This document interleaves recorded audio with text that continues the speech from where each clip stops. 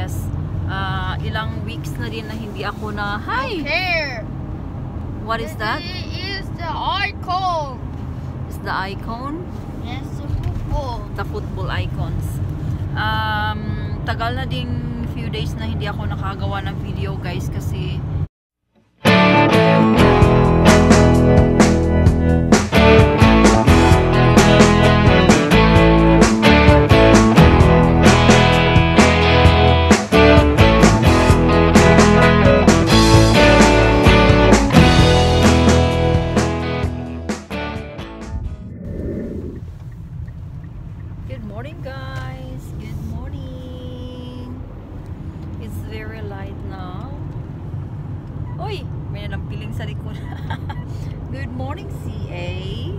What's going on?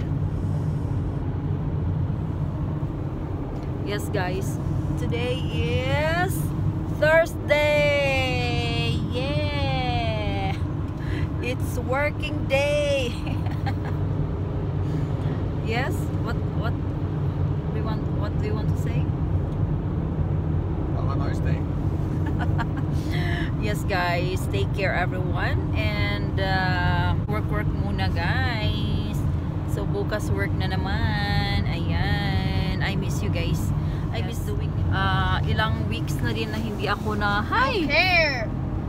What is that? It is the icon. Is the icon? Yes, the football. the football icons. Um, tagal na ding few days na hindi ako nakagawa ng video guys kasi ah, walang wala masyadong ganap at nasa bahay lang kami. So now nothing special.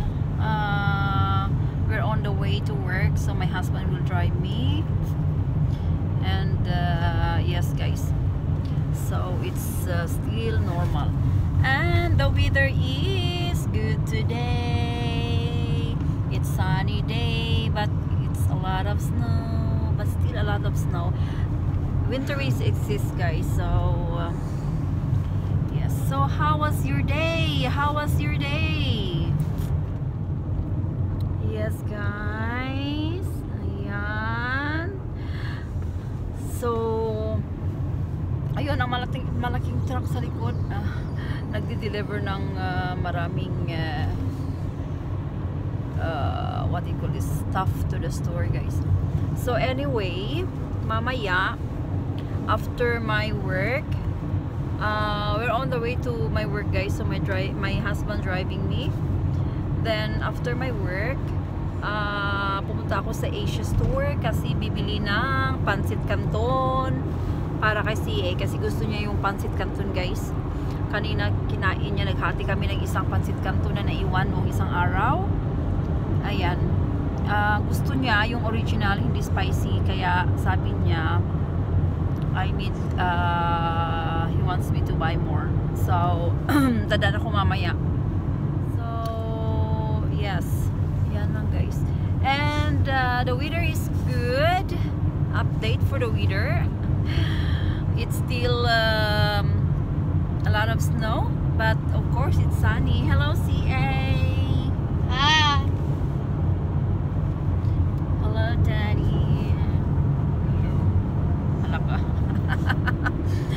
yes guys so have a nice day everyone and see you later guys okay? So enjoy your day and take care everyone. Yeah, see? What what what do you want to see to say? Anything? yeah okay inginting daw inginting nothing uh so see you guys later parang wala na masyadong ice dito sa area na ito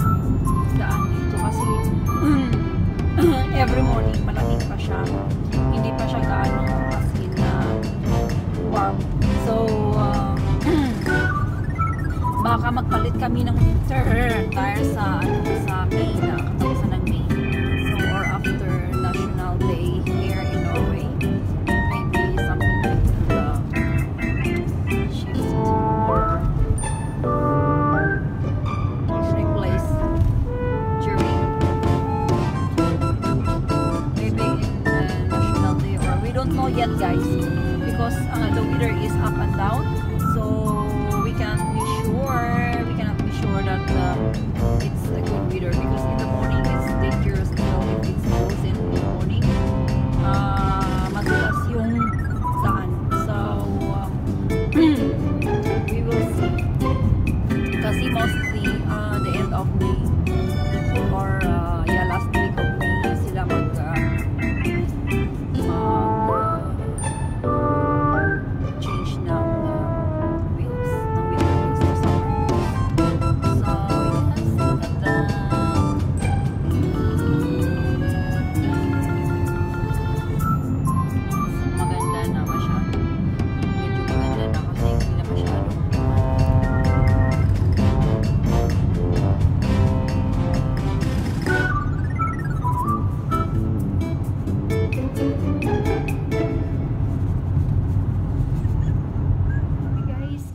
afternoon. Good afternoon guys. I am home now and uh, it's dinner time again. So um, hello guys. Good afternoon. So it's dinner time again and time is 16:56 for quarter to 5 in the afternoon. So it's quite late already our dinner, but uh, I'm going to cook a very easy dinner for today. Then after that, we are going to bake a cake with my son. So, see you guys later. And so, ito yung broccoli ko. Tapos, a little bit of carrot. And, ito yung minced meat. So, i-mix ko yan together guys. Then, ito yung gusto ni CA na bread. Naan bread. It's an Indian bread. And, uh, some of the rice here. And, uh, I will cook my, uh, instead of rice, I will cook this kind of uh, noodles. Then, uh, yeah. So that's all guys.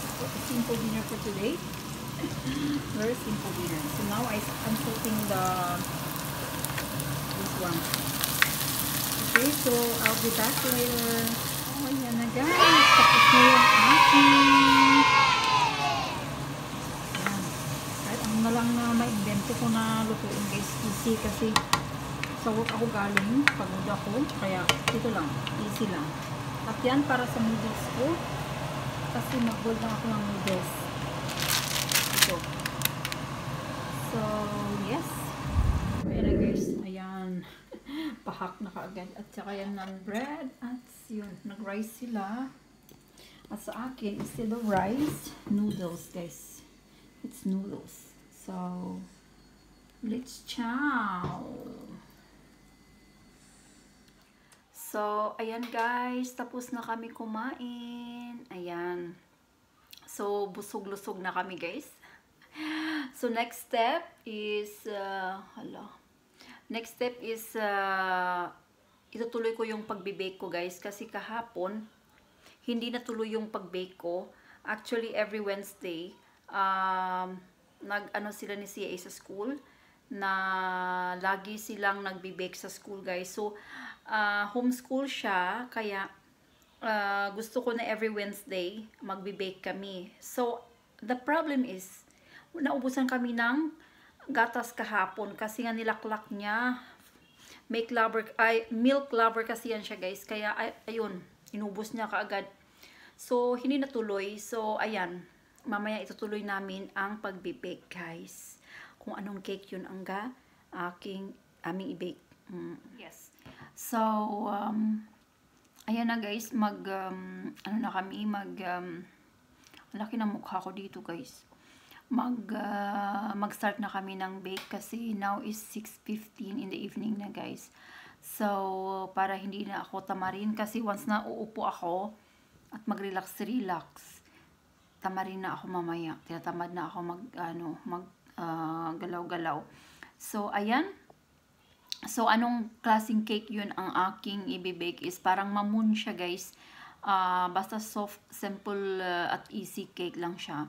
Um, form kaki ang tawag dito. Pero sa atin parang mamoon ba. Ganon. Pero masarap siya, guys. Ayan, so ilalagay ko less sugar yung lalagay ko guys para hindi masyadong matamis. So ganyan ako mag-bake. Hindi hindi ko sinusunod yung um, measurement ng ng sugar. Nagli-less ako ng half. So ano na guys? Mag ano na tayo, mag-bake na tayo guys. Bago pa ako tamarin guys. Ah, kasi na na-mix ko na yung egg kahapon uh, egg at saka um, sugar, kaya lang hindi ko pa nabit. Oh, so ngayon. So, ayan. At um, alangan ko naman yun itapon guys. So, itutuloy ko na lang, no? Para may merienda kami mamaya. Kasi uh, maaga pa naman. 6.15, 6.20 na. So, ayan. Tapusin na na, tapusin ko na ng dada ng dada dito para matapos na din yung pagbibake ko. So, anyway, have a good uh, evening everyone. So, um, mag-ano ako guys, mag-start na kami mag-bake, okay? See ya! Chia. Guys, so ito yung kahapon guys na hindi natuloy. Nalagay ko na, na-mix ko na, pero nilagay ko lang sa ref para hindi ma-ano, et, itlog at saka uh, sugar. Iglog. So, ayan, mag-start na kami. Ipapakita ko na mamaya. Maalit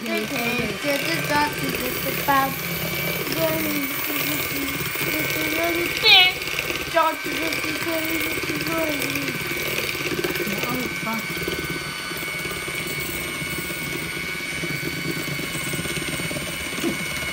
Takbo. Instead of uh, 1 deciliter, ay 4 deciliter guys, 4 cups ang nalagay ko. So this is wrong. So nagano ako liwan. Nag um, ano ako ulit guys, nag-measure ako ulit guys. Kasi hindi ko ito magagamit kasi ewan ko kung anong gagawin ko dito. Siguro mo, gawin ko na lang na hot cake. Yan. And ito, ito na yung ah, ano na measurement. Tama na measurement. So, ito, hindi ko naman matapon. So, gawin ko na lang yung hot cake sa susunod na araw. Ayan. Guys, dito ko nilagay kasi maliit lang naman. Ito is para sa bread ko, guys. Na foam. Um, oh, look at this one. Le Crosset. Ah. Yan, binili ko, guys. Um, ito, sa bread ito, guys. Pero, try ko dito ilagay. First time ko itong ilagay dito lulutuin dito. So, just only 145 uh, degrees Celsius. So, uh, up and down. Ayan. 49. So, I put it here. 49, 149. So, ayan. Tingnan natin. Oh, guys. Nakakatawa kasi my measurement was gone wrong. So, instead of 4 deciliter na na flour, ang nalagay ko is 4 cups. Hello. That's why I'm wondering why it's a lot. Kaya nag-wonder ako bakit ang daming uh, flour nito. Asa tapos nakita ko yung mixture ng ano ng ng egg at saka sugar, maliit lang. Ayun pala, mali pala yung measurement ko, guys. So, ayan. So, itinabi ko yung na-measure ko na, na mali. Tapos, nag-measure agad ako. Buti na lang at uh, uh, tama yung aking, uh, meron pa akong extra na flour. So, it's okay. So, hindi ko yun itapon kasi siguro may paraan pa. Gawin ko yung hot cake, something like that, or uh, pancake. Ayan. So, ganyan talaga. Ang, but anyway, so, okay na lahat guys. So, nalagay ko na sa um, sa oven. So, maghihintay na lang tayo ng maluto yun. Hindi ako nag... Um, sumusunod kung ilang ilang um, minutes yun sa oven guys but I check by uh, every now and then check ko kung okay na siya or hindi kasi ayaw minsan kasi mostly na uh, minimit sure ko uh, ano yung sinusunod ko yung kung anong ilang ilang minutes yung nasa o, sa oven siya ilagay mo sa oven tapos iba yung result ng ano ng cake So, ah, kasi magkakaiba kasi every oven, guys. So, hindi, hindi pareho. Kaya, ngayon, ang gin- ginagawa ko, chine-check ko na lang siya. Gawa, kuha ko ng stick. Pag hindi na yun nagdumidikit doon yung ano, yun lang ginagawa ko guys. Sinistick ko yung may stick ako. So, itutuso ko lang doon sa mixture na yun. Pag hindi na siya dumidikit doon sa stick, it means to say, luto na siya. So, hindi ko siya ino-overbake kasi minsan, ang result noon is dry, ba? So, uh, once na na-stick ko na yun, na hindi na, hindi na siya uh, dumidikit doon sa stick, yung mixture niya. So, okay na yun siya. Hindi ko, hindi ko na siya ituloy. So, kasi every oven, magkakaiba yung ano niya. Uh, ibang brand, may mga oven na din na uh, hindi masyadong mainit kumpara sa ibang oven na kahit na 150 uh, low pa rin yung fire niya. Pero sa amin dito kasi hindi ko makontrol eh. So, yun lang ang inaano ko na uh, i-check ko lagi para hindi siya ano, hindi siya ma-overcook. Tapos na yung cake namin. Oh, oh ang lambot. Diba? Ayan. Yung dalawa, nag, kung narinig nyo guys, nag-cheesing silang dalawa. Habulan. Ayan, looks yummy. Uh-huh. Ayan guys, so, that's all. ang laki ng panglagyan, pero maliit lang yung ano. Ayan, tingnan nyo. Ayan, ewan ko ba wag may mabutas dyan. Pero ano siya guys, ayan na oh.